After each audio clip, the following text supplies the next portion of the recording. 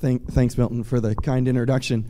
I think if I am ever feeling down, I'm just going to call Milton and have him introduce me, uh, pick, pick me up. So before I get started, uh, there is one thing I'd like to say. I, over the last couple of years of working with Milton, the VSee team, I've developed a great deal of respect for them as an organization, and then the, the culture that they really have, I think, is, is very, very unique. So there is uh, three things that I would like to touch on today. Uh, this is my last slide, not my first one, so that's okay. So thank you for having me here. Three things I'd like to touch on today. The first is I'd like to introduce who we are, CEP America is as an organization, and why we decided to develop our telehealth capabilities. And this really goes to the title telehealth or blockbuster, or condensed down telehealth or bust. The second thing I'd like to do is talk through some of the telehealth programs that we have developed over the last one to two years. And then, thirdly, spend the vast majority of our time talking through some of the key lessons that we have learned on our telehealth journey. So, let's kick us off about who CEP America is. Although probably many, if not most of you, have never heard of us as an organization, we are actually one of the nation's leading multi specialty physician groups, one of healthcare's incumbents with over 40 years of healthcare experience. We have a number of arms to our organization. One of the very important ones is our large provider arm with 2,100 physician partners, 1,300 advanced providers. These are our physician assistants, our nurse practitioners, our CRNAs, and 2,000 scribes, making us one of the larger scribe companies in the country as well. Another arm to our organization is our management service organization that has 300 employees, our billing company that has 1,000 employees, and our own A rated medical malpractice company. We are a wholly physician owned, democratic partnership, and we focus on what we call the acute care continuum. So, this is the time span in healthcare that we focus on from three days prior to the need for an acute care encounter to 30 days after discharge from that acute care encounter.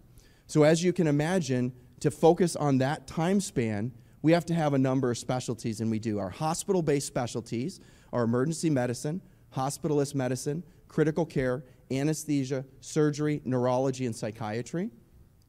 Our non hospital based specialties outside of the telehealth space are urgent care and post acute care. We have the honor of caring for 6.3 million patients per year. That's across 14 states plus the District of Columbia. We have hundreds and hundreds of practice locations, which means that we interface with or partner with virtually all the major national health systems in the country and many of the smaller health systems as well. So that leads to the logical question why does one of healthcare's most successful incumbents, that has four plus decades of experience and generated billions and billions of dollars off of revenue from in person services, develop a telehealth program that potentially cannibalizes our very successful in person practices. And this is where the title of the talk comes in telehealth or blockbuster. Much like Blockbuster was, we're one of the healthcare incumbents. Blockbuster was one of the incumbents, highly successful, one of the leaders, if not the leader in their space, of selling services to customers who came to their storefronts, came to their locations for those services. That's us. Patients come and see us. Now, along comes an insurgent that we'll call Netflix. Now is willing to offer services to customers wherever and whenever they may want those services. No longer has to come to a location or a storefront. So, this is one of the reasons that our organization decided to develop our telehealth capabilities is because we don't want a telehealth insurgent coming along providing the services that we have for the last 40 years to our patients, but instead of them having to come and see us, now they'll give those services wherever that patient may need them, whenever that patient may need them. So that's the first reason why we developed our telehealth capabilities. Second reason, and even more important reason, is telehealth is the right thing to do for our patients. Oftentimes, people come up to me and say, Rick, how do you guys know how to position yourselves for long term success in healthcare? Healthcare is so unpredictable. There's so much chaos and uncertainty. And the answer really is if you're doing the right things for the patient and you're putting patient care first, you're going to be positioned very well for success in healthcare, no matter what path it may meander along its way. Not only is telehealth the right thing for the patients, it's also the right thing for our providers and our partner facilities. Our partner facilities are our hospitals, our urgent cares, our skilled nursing facilities, our surgical centers. It's also the right thing for the payers in our communities. Our payers being our health plans, our ACOs, our IPAs, our employers. Speaking of communities, telehealth is the right thing for us to do for our communities as well. All healthcare is local. We know this. A national one size fits all solution is not going to meet the unique needs of the community. It's not going to meet the unique needs of that patient population. It's not going to meet the unique needs of that healthcare ecosystem. So we have found that telehealth allows us to expand the reach of one of our greatest assets, which is our thousands of healthcare providers. We've also found that telehealth allows us to enhance care coordination, break down some of those silos in healthcare rather than build more. And it's also provided us a value based care delivery mechanism so we can manage relations outside of higher cost venues such as hospitals, urgent cares, emergency departments.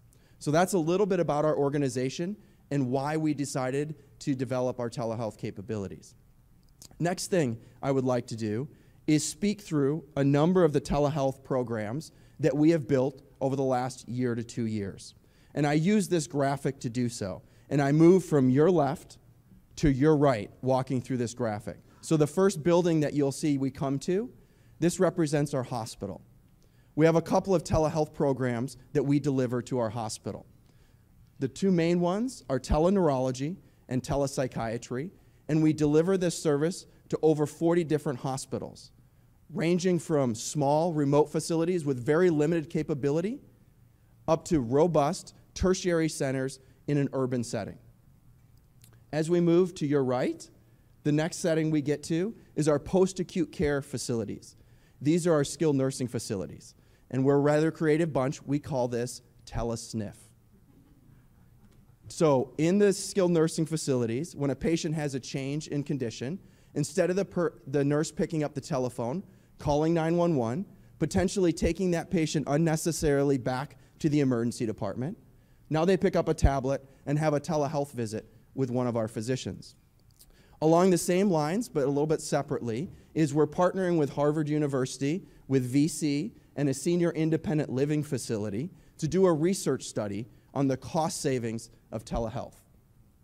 We know that one of the major bumps against telehealth are people that say that it's additive, to the total medical spend rather than substitutive. And so this study really aims to look at, compared to controls, how does telehealth to this senior independent living patient population reduce total healthcare spend by linking Medicare claims data. So it's very, very early on, but we hope to have some positive outcomes from that study. As we move a little bit further to your right, this is where we get to our emergency concierge program. This is where we work with the, the payers in our communities, the health systems in our communities, and we use our emergency medicine physicians who are staffing our telehealth platform to provide their members, their patient population, a virtual concierge emergency medicine physician 24 7 to try to manage their needs virtually rather than having those patients have to go to higher cost venues, emergency departments, urgent cares. Now, if we move ourselves a little bit further to that icon that says home care, this is where we are launching in two months a program called Complex Care Management. What does this program do? So, within our organization, we have a data and analytics company that's able to identify those patients that are at highest risk for adverse outcomes, highest risk for readmission after discharge from an acute care setting. So, this complex care program is going to own this patient population for the next 30 days. They're going to make sure they get plugged back in to their primary medical home. Make sure that they have their follow up appointment with their primary care physician, their specialists. Make sure they've gotten their prescriptions filled. Make sure they know how to take those prescriptions. Make sure that they are taking those medications. Make sure they understand their aftercare instructions. Make sure they haven't developed any new symptoms. And if they have, that they're being addressed immediately before they get worse. The team that's going to be owning this patient population is an intimate team of a physician, a transitionalist, which is a physician assistant or a nurse practitioner, and a care coordinator. One of the tools that this team is going to use is telehealth. Not just delivering telehealth services to the facility that the patient's being discharged from, but also into the patient's home as well. So that's a number of the programs that we are currently offering. Now, there's a number that we have in stages of development without a firm launch date. These include things such as tele EMS, e palliative care, EICU, telehealth, delivery to behavioral health units for acute medical needs. We know that when patients are in the behavioral health unit, if they have a medical need, what happens to them? They have to get shipped out of the behavioral health unit to an emergency department or other acute care setting. So we'll use our emergency medicine physicians to actually take care of the medical needs of those patients while they're in the setting.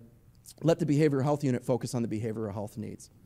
So that hopefully gives a good foundation to the programs that we've built and that we are currently building so that we can move on to some of the key lessons that we have learned over the last year to two while building these programs. As I was thinking about what lessons to present, because there were so many challenges we faced and so many lessons learned along the way, I took a step back and said, you know, what is the attendance typically? Who is the audience at these telehealth conferences such as the ATA or the VSee conference? And what, they, what, it, what I found that it is, is there are several large healthcare incumbents, there are several large tech incumbents, and then there are a number of insurgents. And what I was really struck by is how much we can all learn from each other. The insurgents can teach us incumbents so much how to be creative, how to move fast, how to be speedy, how to be agile, how to look at different market segments. And us incumbents can teach the insurgents so much as well. I mean, to be a perfect setup for a, a great learning is to have an incumbent partner with a number of insurgents. And what we could teach each other was amazing. So I was just thinking about some of these key lessons that we've learned. Some of these may be obvious to one group or the other, depending if you're an incumbent or insurgent. But I think that they're a great reminder to all of us. So let's review uh, some of the lessons learned. One of the things that we found is that building a successful telehealth practice, a telehealth program, requires the same exact thing as building a successful in person practice. And that is putting the patient at the center of the program, putting the patient's needs first, building the program around what that patient needs, and building a support team around that program. And it's not just one team, it's a team of teams. The composition of this team of teams is what we call the crucial triad it's a physician team, a business support team, and an operations team.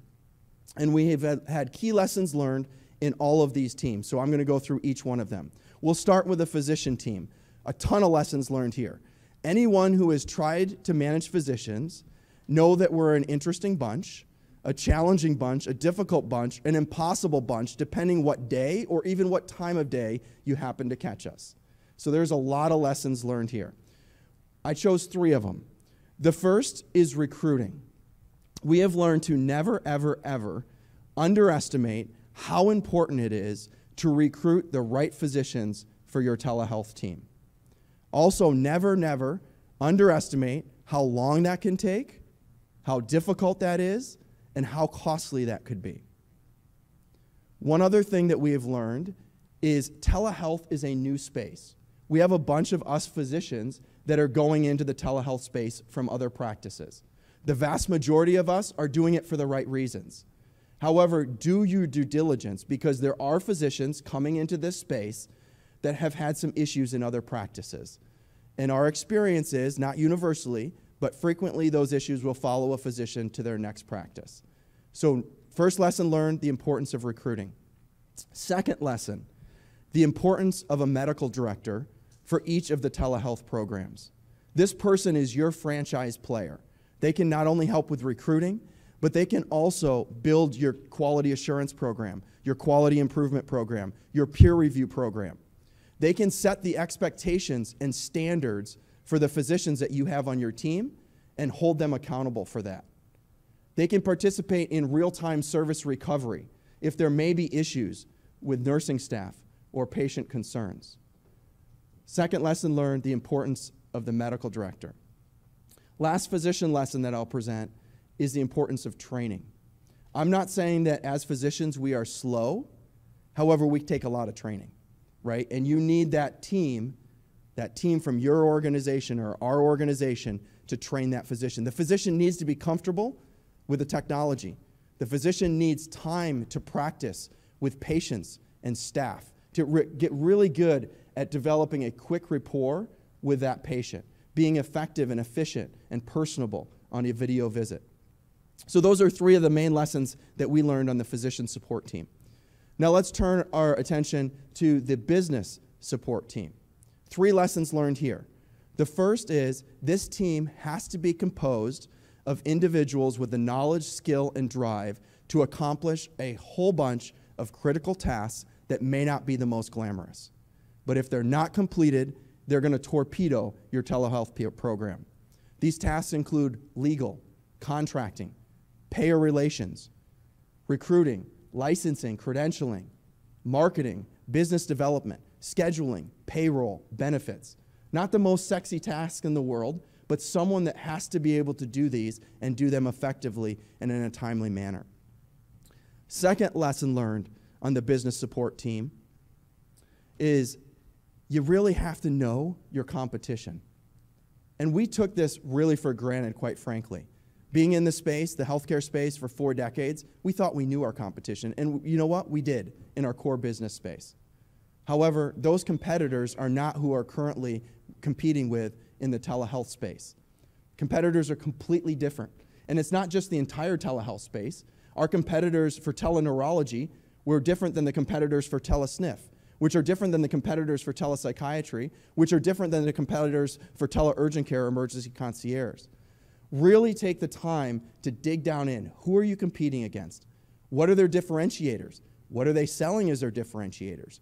How are you actually different than they are? How are you going to sell that? How is that going to resonate to the market? What are their price points? What's their business model?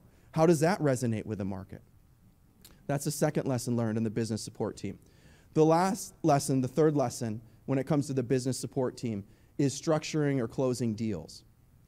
One of the things that we have found is if there's any way that you can try to try to get at how big of a money problem is your customer trying to solve with your solution.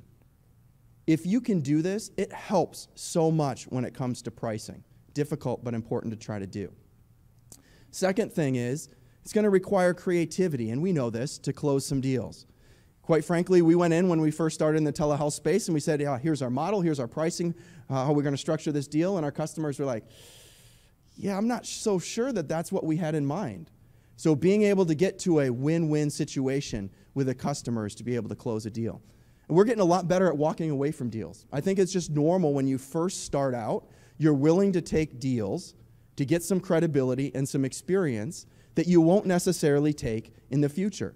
And you have to reach a point that you're going to say, all right, I'm going to start walking away from these type of deals. And we've gotten better at that. Last team of the crucial triad is our operations team. Three key lessons that we have learned here. The first is implementation is so important. This is going to be one of the hardest thing that you do when you launch a telehealth program is the implementation. Maintaining it is much easier. To be able to do this, you need a crucial individual on your team, and that's a rock star program manager or project manager who can put together a project plan, capture the action items, hold internal and external stakeholders accountable for timely completion of their deliverables. Another key individual is that influential stakeholder that you have on your customers team that can align their stakeholders in their organization and get them pulling in the right direction to get it implemented. So, first lesson learned here is implementation is hard. Put all the time and effort into it, it's absolutely worthwhile. Second le- lesson learned here, and Milton addressed this a little bit um, earlier today, is healthcare is a slow moving space. It really is. I, I think we're all normal in this room. I don't know why it takes so long to do things. What we found, however, is health systems themselves are very slow moving. If you can do things outside of the health system, it can move a lot quicker.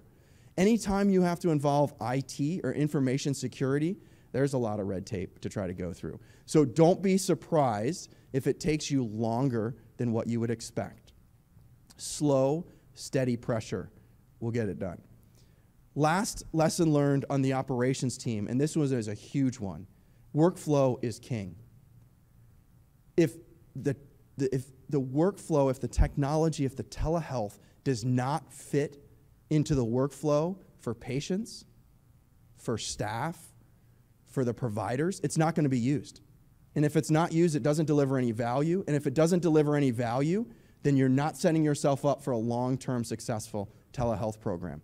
The technology needs to fit in with the workflow, not vice versa. So hopefully I've been able to introduce a little bit about who CEP America is, why we invested in developing our telehealth capabilities, some of the programs we've built over the last one to two years, and then get into some of the key lessons we've learned along the way. I do have to acknowledge some of my team leaders, some of this crucial triad of team leaders are here today. We couldn't have done it without them. So depending upon the question, I may also look to them to respond to some of the questions that may be out there. I'll open it up for questions. Thank you.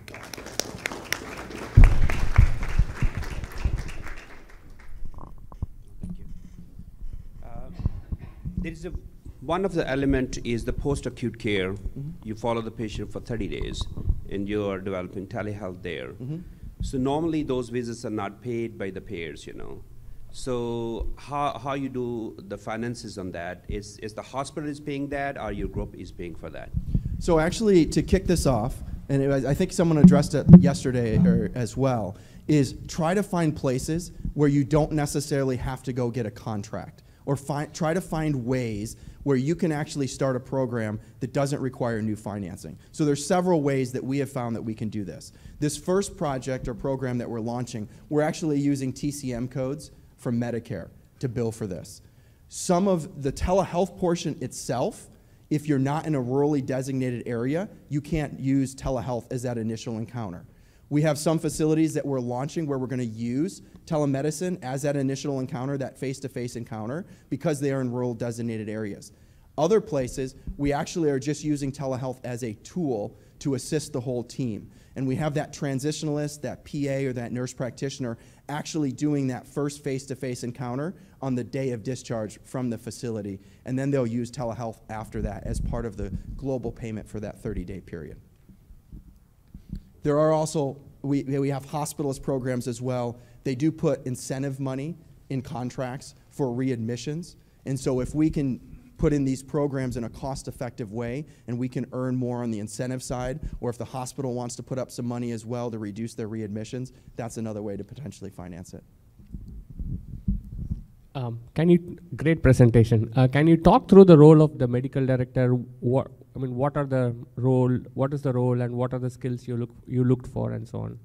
Yeah, so um, the medical director, as I said, really has to be the franchise player. They really need to do, not ask their team to do anything they wouldn't do. So we expect that that person is going to be working like a frontline physician would be working on the program so that they fully understand all aspects of the program. That person has to be able to very effectively be able to communicate, has to be very organized, has to be able to get tasks done, um, has to be very personable. Um, this is really, I think, in my opinion, the first person you should hire for any telehealth program is this rock star medical director. And you're going to have to compensate him appropriately. Anyone who gets a mic first, yeah. so does CEP have their own app for the provider and the patient? Uh, we, we do, um, thanks to Milton and his team. Um, we've actually partnered with them. One of the first things that we did when we looked at developing our telehealth capabilities, we looked at ourselves and said, Self, are you a technology company? And we said, No, we're not a technology company, we're a healthcare company. And so then we did a really comprehensive search to find the right partner, and we have chosen VSee. I think we made a wise decision to do that. Um, we do. We have a web based platform and Android and iOS apps that we use. Yep, whoever's next.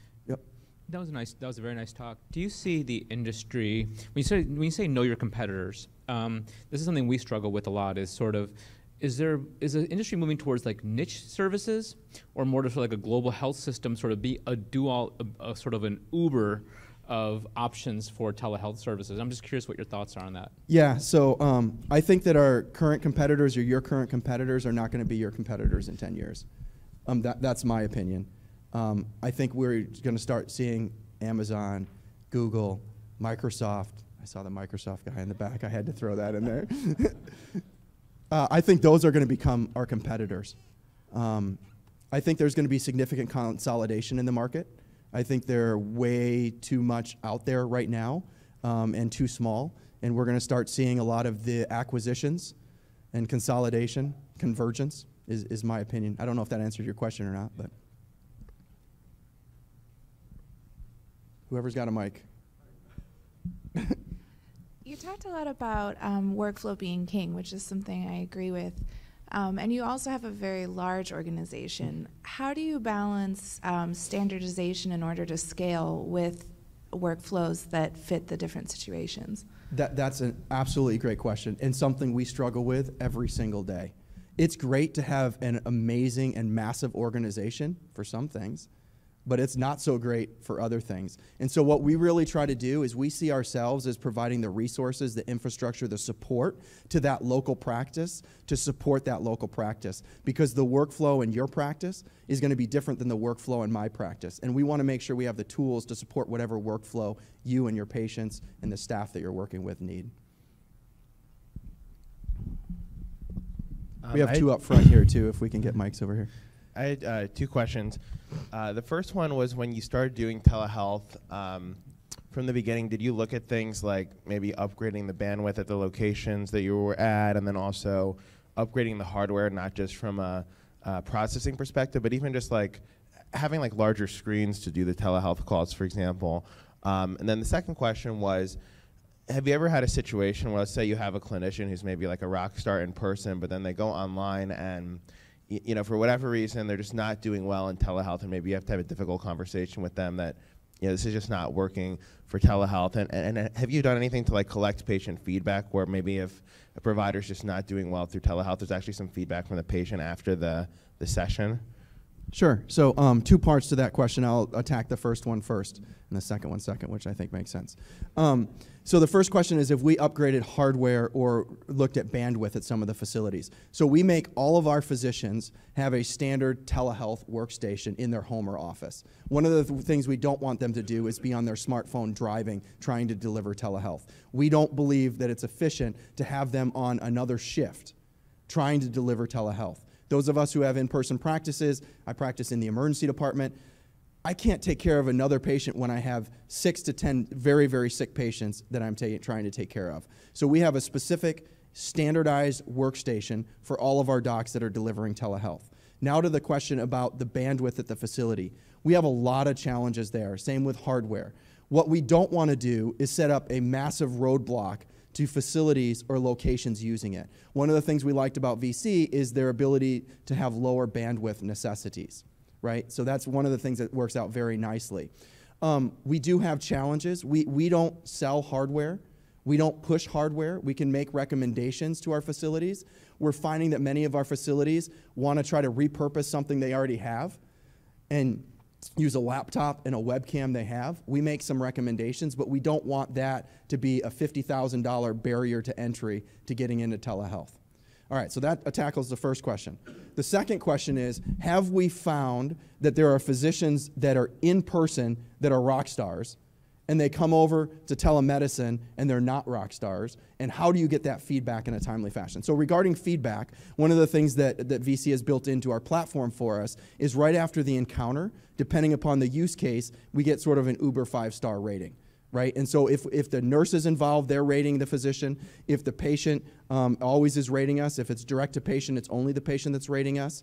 If there's anyone else involved they provide the five star rating as well. So we can get that feedback real quick quite frankly, we have not had the problem of taking a rock star physician, putting them onto telemedicine, and not doing a good job. I think, one, I think it's going to happen, but one of the reasons why we've not had this problem is because we have handpicked these physicians from our 2,000 physicians. So we interview. I have a list of 100 docs who want to do this right now, right?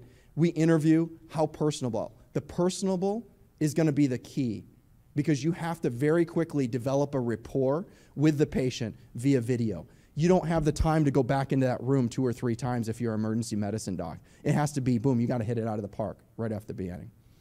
All right, there was a couple more questions. Do we still have time or do we need to? Okay, all right, yeah. So, uh, great presentation, by the way. Thanks. Um, so, given the depth of what you presented, and it's across the entire spectrum of healthcare provision, both inpatient and outpatient. Um, and you mentioned that you know you you're you're conducting some studies to look at mm-hmm. how this improves efficiency, generates revenues, intangible cost savings. Are you focusing on any like one area? For me, I'm an anesthesiologist, mm-hmm. and I would immediately think that you clearly are already involved in the perioperative home. So mm-hmm. you're looking at the patient before admission, at admission, post admission, and then you're kind of expanding it now into the post admission home care part of it. And from that perspective, it seems that the possibilities are endless in terms of improving readmission rates, improving intangible savings to the hospital, and then probably improving revenue from the whole spectrum of care. Yeah, absolutely. You're right. I, I, what we have found that we do is we build in baby steps. Right? You found a problem you can tackle. You tackle that problem. You move on to something else. Now, as you get all the bricks in a row to build a more comprehensive program, such as a perioperative surgical home, now you have many of the components that you already need. And, and you're absolutely right. I, I think that that's a place that we're going to see healthcare go in. I think that there is some challenges still there around reimbursement models around the perioperative surgical home, but I, I do agree that we have the pieces there to build it. So, Yes, sir. uh, thank you for a great presentation. So, in the triangle that you had, Mhm. you had a physician team, you had operations, Mhm. you have uh, Business support. Business report. Mhm. But what are you doing to empower the patient? Yeah, so that, that I kicked it off by saying the most important part of that whole thing is putting the patient at the center. So one of the things we're really really keen on is getting that real-time patient and family experience feedback and understanding how they're enjoying their encounter. So we do that a couple different ways. We talked about the telehealth platform giving us real-time f- uh, feedback. For our in-person practices, we have something we call EQI, which is electronic quality improvement. And so what we actually do is we take uh, some of the information that would be included in the routine ADT feeds or more advanced ADT feeds from our facilities, and we are able to email and send text messages to the patients immediately after service to get feedback on them. One of the things that we do is we allow it to be customizable. So when we change a process or a workflow, for, for example, let's say that we start a fast track in an emergency department. We can specifically ask them questions related to that experience or a discharge process or maybe a new intake process. We'll put specific questions in there. So that's how we're getting that feedback from this, the patients. I mean, the real problem with healthcare is the chronic care. Mm-hmm. And unless we figure out that engagement part of it, uh, 75% of our healthcare problem is chronic care with diabetes and all. Like Yep. uh, patient engagement, say with blood sugars or altering the diet, and all that is really important. Yep, absolutely. With all of our in-person acute care practices in the acute care continuum, we see the effects of chronic care all the time. And the complex care management program that I was telling you about is really going to aim at trying to tackle some of those problems. I don't know if I should say this. This is kind of some secret sauce here. So our care coordinator, my team's going to shoot me. Um, I have this theory. I don't know if it's true yet. Um, the engagement with that patient that you bring up is so key, and it's not with the physician and that patient. It's with an individual that that patient can develop a relationship with, that they can understand. So my theory, having lived with my grandmother for a little while, is that we are looking for care coordinators that have lived with a grandparent. And we believe that that actually can predict how good of, how good of care coordinator that they are going to be. I haven't patented that or anything, so you guys can feel free to use it. But uh, that's my theory about how we can predict who's going to be best at engaging with that patient. Thank you so much, Rick, for the great presentation.